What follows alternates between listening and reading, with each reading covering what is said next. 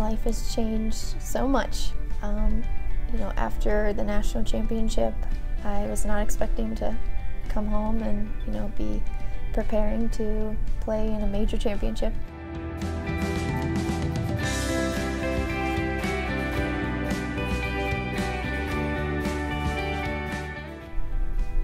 The University of Findlay has impacted me very greatly. Um, I am very lucky to have spent four years here.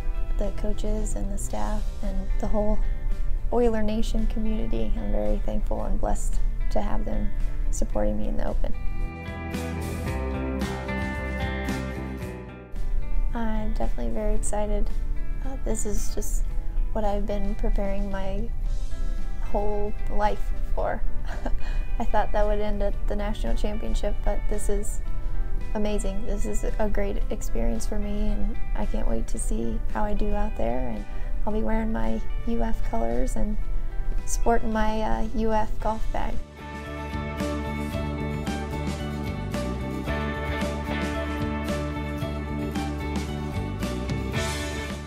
Everybody likes an underdog, so I don't think it's going to change anything with how I play. I think it'll honestly be better just because there won't be as much pressure.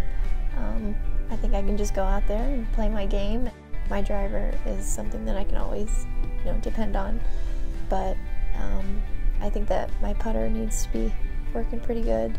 Uh, towards the end of the season, my putter just caught on fire, so to speak, and putts started falling, and I think that's where I'm going to be able to score. I'm just kind of trying to treat it like any other tournament.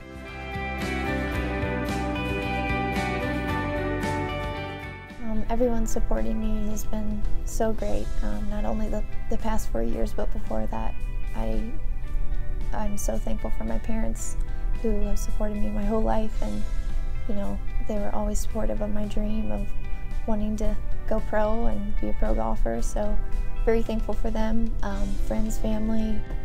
Um, I also want to thank the Beal family for giving me a place to stay and uh, being very generous in their support and also Findlay Country Club for providing me with a great, great, great place to play this summer to prepare for the Open.